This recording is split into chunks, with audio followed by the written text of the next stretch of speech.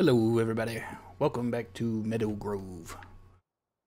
We got a wool problem here. Well, not here per se.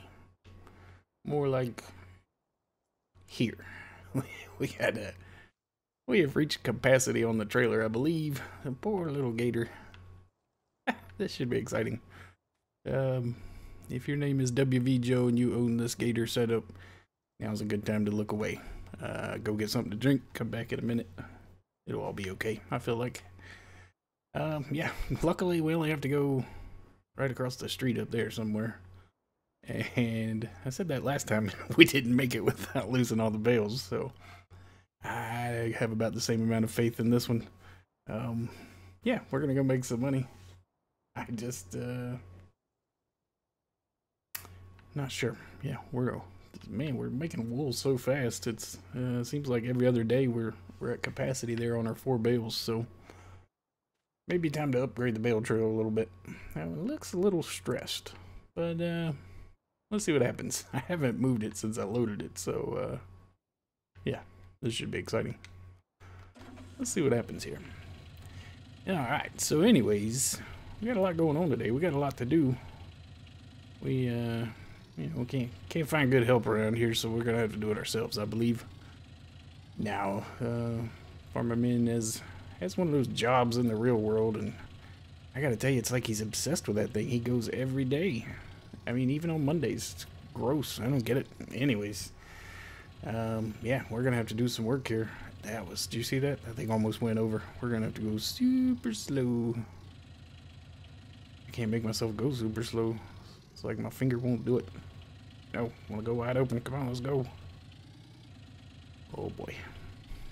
This should be. Yeah. Nothing wrong with this. On the bright side, this should be a fairly easy rig to flip over. Whoa. I thought that was it. This should be a fairly easy rig to flip back over when it does lay on its side. Uh, besides the, the wool bales, it can't weigh that much, so we should be able to get it. Yeah, old Turbo Gator is getting it done, though. I tell you what, yanking it right up that hill. This is pretty funny. I can't describe how top heavy this thing is. It just feels like it's going to fall over. I'm sure there is no kind of spring or shock left on that trailer. That thing has got to be flat. Oh boy.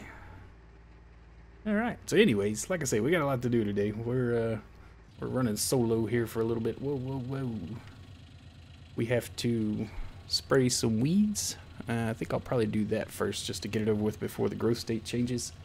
We also have to plow and cultivate and lime the new grass field that we got. Uh, so we can get it planted with oats for Mr. Joe there. We don't want him to take all our cool toys back. Of course, if he watches this video, he's probably coming to get them after this. Your lease is over, my friend. Oh no, we're gonna make it under this tree. This is gonna be problematic here. I need to get the old chainsaw out. Alright, look at that. Easy peasy. I, I had a good feeling about this. Nothing to it. Now watch me flip it, pull it into the parking lot here. And did we make it? Feel pretty good about this. Oh, oh gosh. Oh baby. No, no. Drive through it, drive through it. Gotta accelerate out of it. No. Why won't that trailer come back? There it goes. Whew.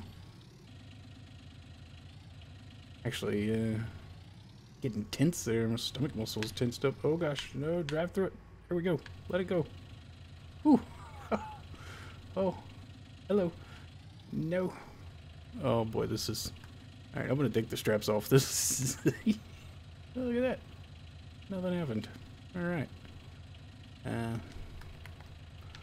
So. Wow. Talk about anticlimactic. Uh. I figured they would just start selling. Pretty sure that's what happened with the last load we brought in here. As soon as we pulled in. I didn't bring any sort of equipment to unload us there. Hmm. Slam on the brakes. Oh, there we go. We got two of them out of there. Oh. you know, the wool sells for more when you soften it up by beating it off out of the pavement. So uh, we're actually improving it quite a bit here. That's what we're doing. We're doing that on purpose. And one more. There we go. All right, easy peasy. Like professionals do it right there, buddy. That's uh, that's how they do it in the books. Probably give a training class on that. Anyways, look at us, up to fifteen thousand dollars. Oh yeah, and since nobody's here and we're unsupervised, um, Grease Monkey doesn't seem to mind us signing the checks, so we're gonna go get some more equipment too.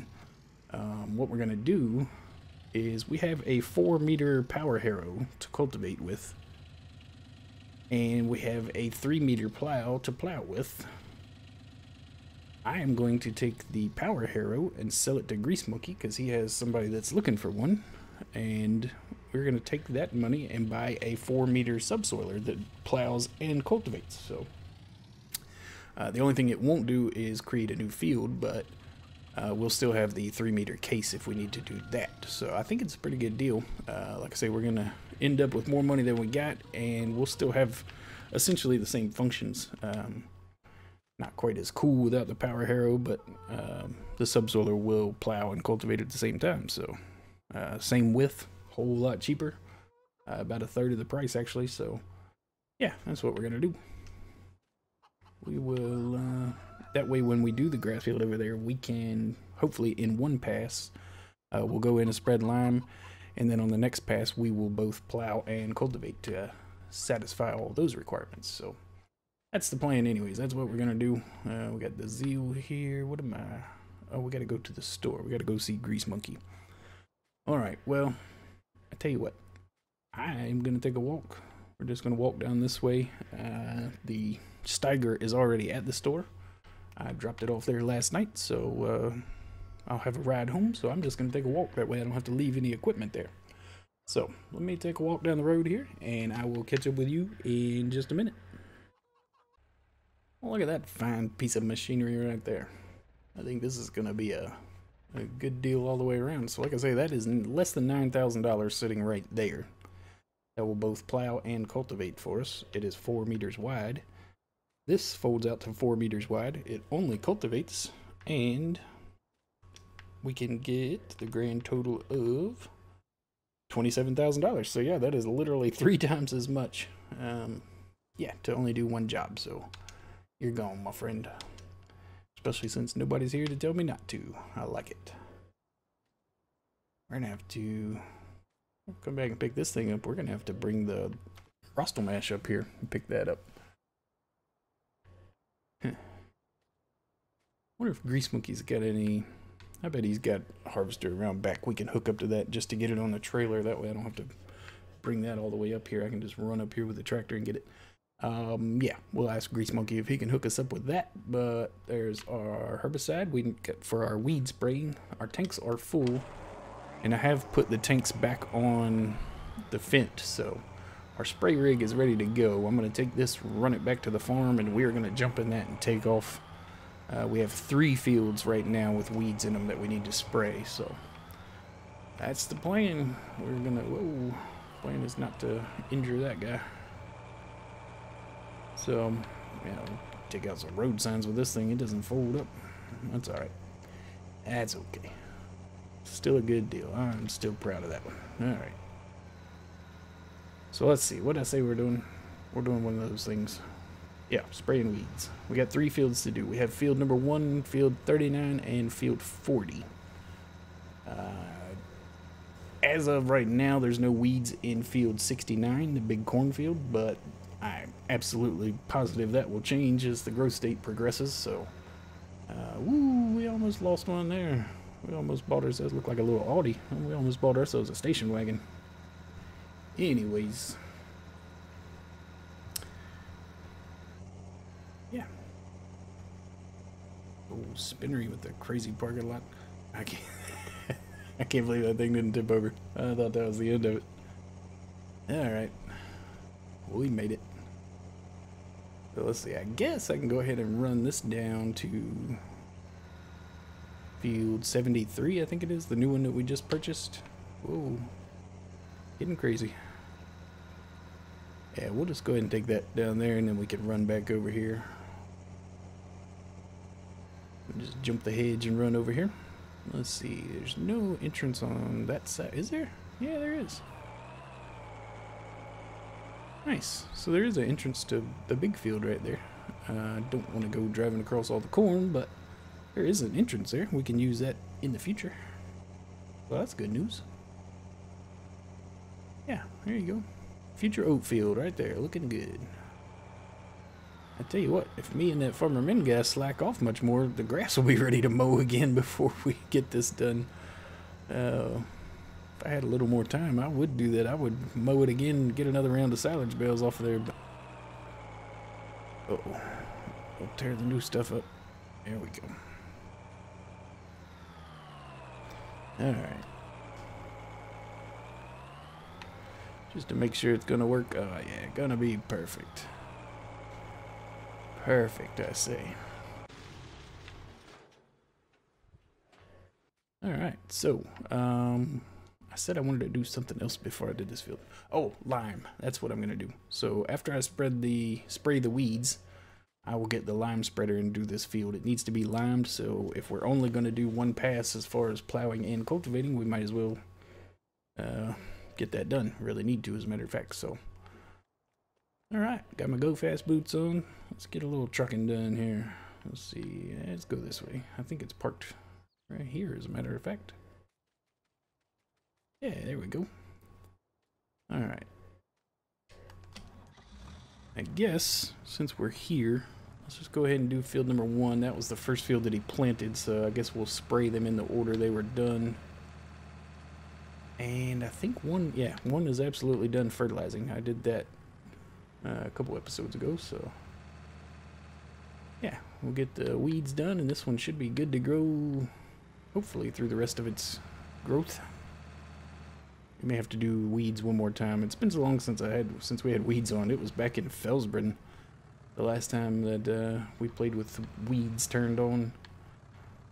I really got to be honest, I don't care for them very much. Yeah, I just thought about crop destruction. I don't think I'm going to do any damage here. Yeah, I just, uh, I like the idea of having to spray the weeds. I just don't feel like it was implemented properly. And i I'm not smart enough to have the solution for it, so... Uh, try not to complain about it too much. But yeah, I just think it's it's kind of silly that uh, you know as soon as you as soon as you get done planting, there they come. And if I'm not mistaken, either the first or second growth stage, they they come again. They do another round. So, uh, like I say, just it's very very expensive to just take care of just the weeds. And if I'm not mistaken, again, they don't have any effect on the harvest yield. So uh, they're really kind of pointless. You're really just spending money that doesn't need to be spent. But that's all right. That's all right. Let me see. That didn't work out the way I thought it was going to work out at all, did it? Not very good. All right, we'll get this thing. Maybe. Looks like I've never done this before.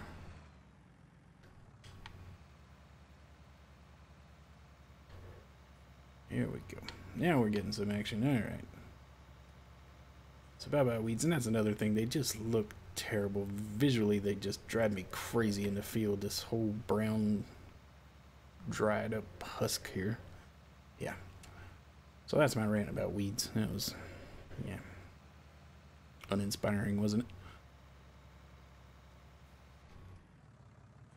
it? Yeah, I can't leave those back there. We gotta get those two. I still think I missed some. Alright, I'm not going back.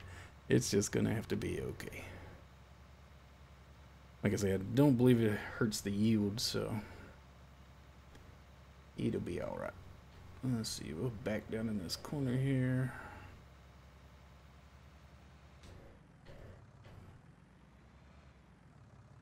Man, this trailer does not want to cut. I guess the tandem's on there so close together. She is a straight line machine. Alright, we'll just jackknife it in there. How about that? Well, the good thing about it is this will knock the field out really quick. I believe at the rate we're going, I think we'll be able to do all three fields with one tank, so. Or the, the back tank plus the front tank, so. We have that going for us, at least it won't be that expensive. Of course, saying that, I mean, it was still $3,000 to fill this thing up, so. That's uh, extra $3,000 on the, on the cost there, right off the top. Be nice if I could mix my liquid fertilizer and my herbicide together and spray them both at one time. It'd be nice. Of course, that'd probably cause some sort of fire. I'm not good enough with chemicals to understand what even the implications of that are. That would be some sort of bomb or something, probably. But it would still be nice. It'd make my life a lot easier, so. That's essentially all we're worried about here, right? The ease of Jockey's life. Yeah. Some of us, anyways. At least one of us. Alright. I think we're done here. And let me grab that guy right there. Perfect. and one little swipe right there. Alright. There we go. Easy peasy. So let me take this up to Farmer Minn's place. I'm going to hit field 39 and 40 up there real quick. Like I say, I believe I'll be able to do it on the same tank. I don't see why not. They're about the same size as this one, so we only used about 9% there. Yeah, this is going to be nice. So, yeah, let me go take care of that, and I will catch up with you when we are ready to put some lime down on the grass field. I'll be right back. Alright, back in our ride. Finally back in the big boy here. Um, I left the Fendt up at Farmer Minn's place because only half of field 40 had weeds in it. So I got a feeling I'm going to be doing the rest of the field uh, here shortly whenever whenever the loop catches up to it. So I just left that up there and like I say, eventually we'll be doing that field right there. I'm absolutely certain. Unless for some reason weeds don't grow there, which is highly unlikely. So what we're going to do now is run over, grab the spreader. Yep, there we go. Just as I said that, I couldn't remember where it was, but it's right there where we left it, so that's pretty fortunate. Not always the case around here. So let's see, does it have lime in it? No, that's not the right button. Oh no, that's fertilizer. Hmm. Alright, I tell you what, we'll just unload that, maybe make some pallets right here. I think we can unload this one. Yeah, there we go, perfect. Alright, we'll take this to the store. I'm going to fill it up with lime, and we are going to get to work on the grass field. We're going to make it an oat field. Lofty, lofty goals there. So, alright. Let's go do that. Uh, let's see if we can get there without tearing anything else up yeah, so well, I think we've done all right here. Made a little bit of money. Uh, made quite a bit of money, actually. And I tell you what, while I'm thinking about the money, and while nobody's here to stop me, as soon as we get to Grease Monkey here, I am going to make a payment to the bank. We're going to cut this loan down. Um, we won't say nothing to Farmer Minn. We had, what, six, seven thousand dollars when we started today, so we can run it down that far and uh, just pretend like nothing happened, you know? Be like, I, I have no idea what you're talking about. I don't know what money. We'll dig us out of this hole. We're gonna get it. Uh, I keep forgetting about all the stuff I gotta come pick up up here. A lot of things here. So let's see, lime. Yes, lime is what we need. 2,000, which is unfortunate because I believe we can only hold 1,800 liters. So it's a good thing I left the forks on there. I can just take the rest of the pallet with us. No sense in leaving it here and having to come all the way back because we're going to burn through it pretty quick. As a matter of fact, I wonder if I could carry two pallets on the forks. It would certainly be worth it to take another one with us because, oops, field 73 I think is going to use a bit, quite a bit.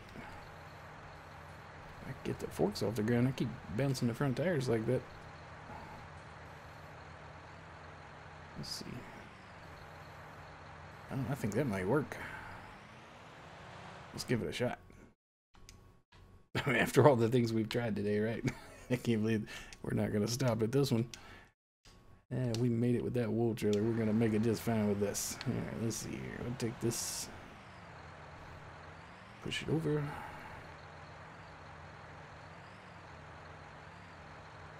Trying to get it somewhat straight.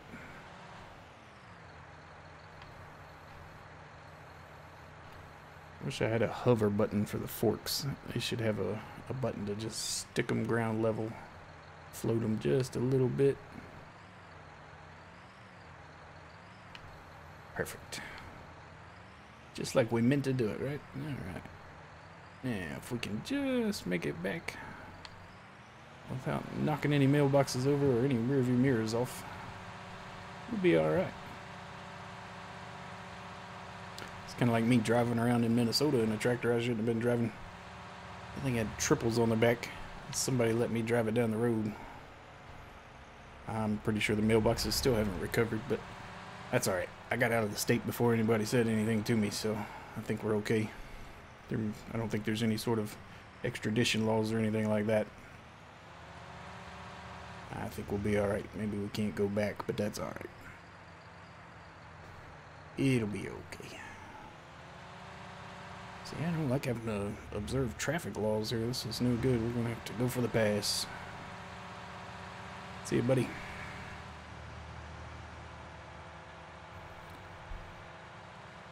Uh-oh.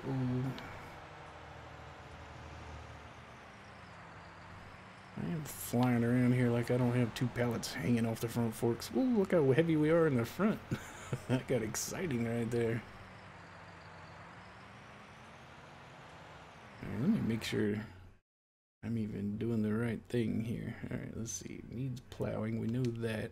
Yes, does need lime. Okay. That's the only field that we own that needs lime.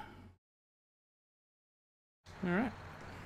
Uh, we can also fertilize field 69 there. Maybe I'll go get our... Uh, no, I got... Hey, I just unloaded two pallets of fertilizer. Yeah, that's what I'll do. We'll just throw some solid fertilizer down and use what we already bought there. And field 69 will be good to go. I think there was one other field up at Farmer Minn's that needed a pass of fertilizer too. I think it was 39. 40 is done, but 39 needs a little bit. So we'll get it. We'll get there. Try to keep these things some kind of list in my head. We'll cover the Steiger here. Give it a little powdered sugar bath there. And we are off and running. That is it. I am telling you what. We are just a marvel of efficiency. Uh, yeah.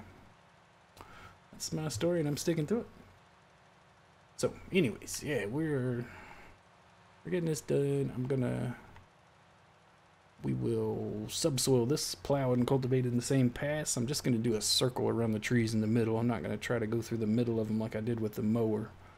Uh, too hard getting equipment caught up in there. We don't want to mess with any roots or anything. So, Plus, we've seen Farmer Minn drive. I mean, let's be honest, we don't need to put any added obstacles in his way. We don't want to make it any more difficult for him than it has to be. So, bless his little heart. We'll, uh, we will just do a circle, yeah. Matter of fact, I think that's the only thing that's plowed around there is a circle, so. Uh, like I say, the subsoiler does not create fields, so wouldn't work anyways. We'd only have to drive around them, so that's, yeah, alright. That'll work out perfectly. And we're getting way better mileage off of this lime than I thought we were going to get. I don't know why somebody had to purchase two pallets and bring it with them. That's crazy talk. Yeah, I really thought that, uh, thought this wouldn't last at all. Oh, well, I'm so silly. That number is counting what's on the forks. That's why it's such a big number. Okay. Yeah, we're about to run out back there. That makes much more sense. Yeah, the spreader itself is almost empty. The the number I'm seeing is the what's on the forks. There it goes. Perfect. All right. Yeah, that's that's way more reasonable. I couldn't believe that we had done this whole field with just that little percentage.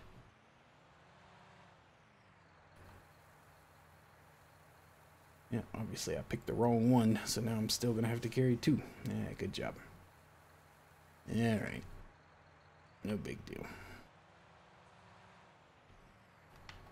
Let me hook bag up before I take off. We're almost done with this one. Yeah, like I say, I wish I had something to tell me when the forks were just hovering just the way they should be.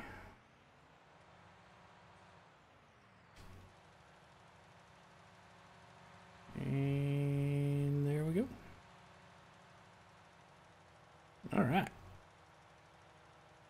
So, we have done most of what we set out to do today. I will do a little culti plowing off camera. Me and the Steiger take a little ride here when nobody's watching. But as far as we go, that's going to do it for another episode there. We're going to call it right there. Take our white tires and we're getting out of here. So, I want to thank you for coming and hanging out with me. I am Golf Cart Jockey, and I want you to have a good day.